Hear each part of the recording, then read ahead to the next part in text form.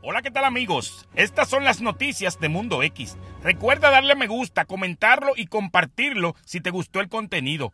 Comenzamos. Arrestan en Maryland a un sujeto que figuraba entre los 10 más buscados de Ponce, en Puerto Rico. Emiliano Flores González, como lo identificaron, quien figuraba entre los 10 más buscados del área de Ponce, fue arrestado este miércoles 24 de abril de este año por agentes federales y locales en el estado de Maryland. El arresto se llevó a cabo durante la tarde, gracias a una operación conjunta entre alguaciles federales del Task Force de Ofensores Violentos compuesto por el U.S. Marshal Service de Puerto Rico y Maryland y la División de Arrestos Especiales de Ponce de la Policía de Puerto Rico. Flores González enfrenta una serie de cargos, tanto estatales como federales, relacionados con delitos violentos y la posesión de arma de fuego. La orden de arresto federal fue emitida por el juez Francisco A. Besosa el 23 de mayo del 2019 en relación con la ley de armas. Además, una orden de arresto estatal fue emitida por el juez Carlos Quiñones Capacetti el 14 de marzo del año 2023 por violaciones a la ley 168 de la ley de armas y a la ley 54.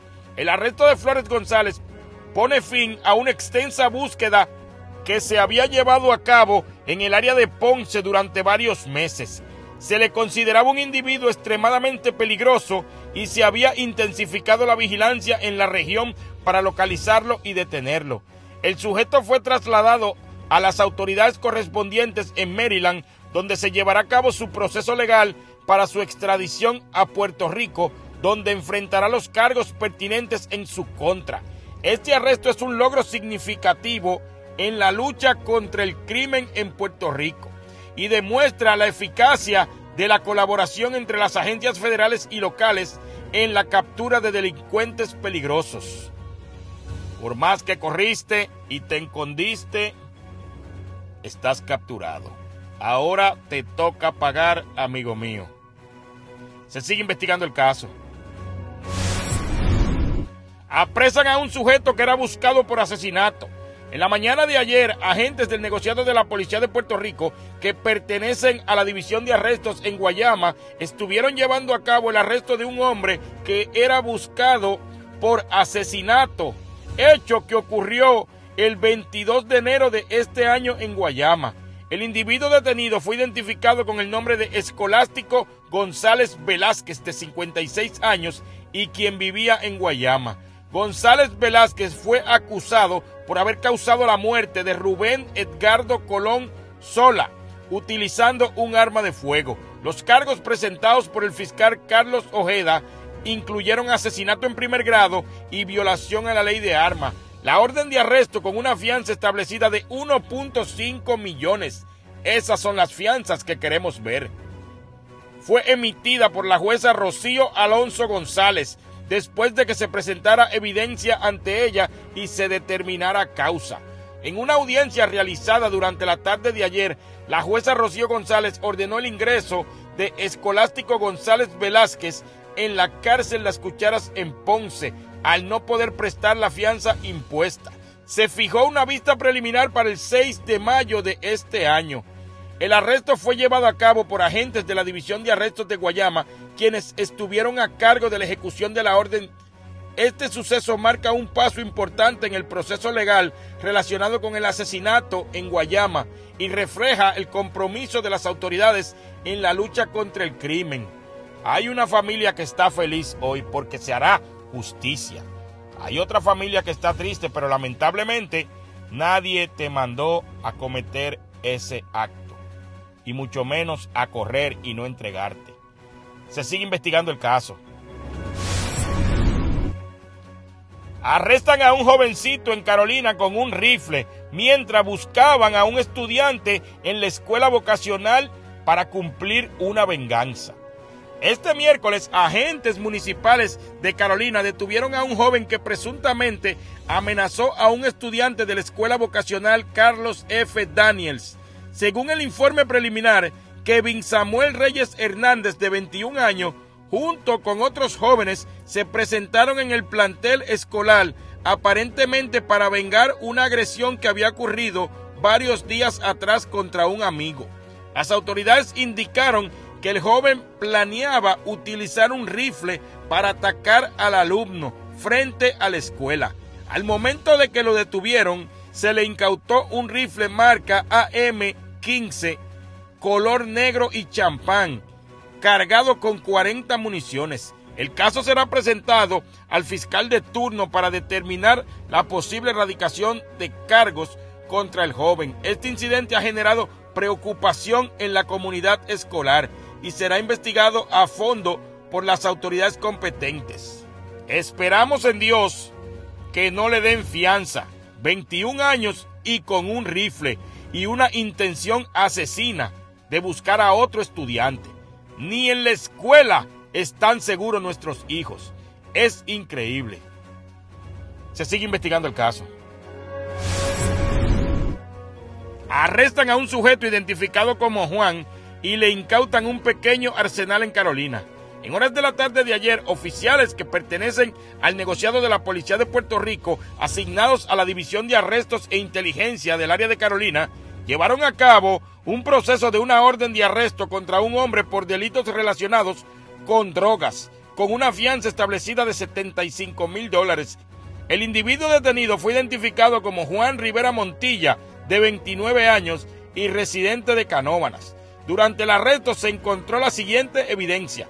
Un rifle marca Trinity Force calibre 5.56 acompañado de 5 cargadores y 187 municiones. Una pistola marca Glock modelo 17 calibre 9 milímetros con la serie mutilada, 3 cargadores y 155 municiones calibre 9 milímetros y una pistola marca Glock también, modelo 23 calibre .40 con 10 cargadores y 267 municiones calibre .40. Este caso está siendo consultado con el fiscal de turno en el día de hoy para determinar la posible erradicación de cargos criminales correspondientes. Los agentes Giusti Rosa y Falero Andino, bajo la supervisión del sargento Rafael Gómez Águila, todos asignados a la división antes mencionada estuvieron a cargo de la operación. Esperamos que no le den fianza a este individuo. Es increíble la cantidad de armas que puede tener una sola persona. Mi pregunta es, ¿iba para la guerra? Se sigue investigando el caso.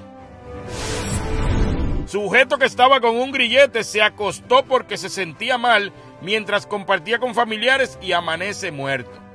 Agentes del negociado de la Policía de Puerto Rico que pertenecen al distrito de Toa Baja y a la Policía Municipal están investigando el fallecimiento de un hombre de 31 años reportado a las 5 y 5 de la madrugada del día de hoy en su residencia en la urbanización El Plantío en ese municipio. Tras recibir una llamada del sistema de emergencias 911, la policía municipal se movilizó hasta el lugar y encontró el cuerpo de Miguel Berrios Colón, de 32 años, quien no presentaba signos evidentes de violencia. Según la información preliminar, Berrios Colón, quien llevaba un grillete electrónico, había estado compartiendo un tiempo con familiares en la residencia antes de recostarse, manifestando que se sentía un poco mal. El agente Luis Ortiz Medina de la División de Homicidios del 6 de Bayamón se ha unido a la investigación de este suceso. La causa de muerte será determinada una vez se obtengan los resultados del Instituto de Ciencias Forenses. Tengo mis sospechas, pero me la voy a reservar porque no es un caso de violencia, ni estaba en la cárcel. Tenía un grillete, pero eso no viene al caso. Por favor, investiguen y comenten qué sucedió.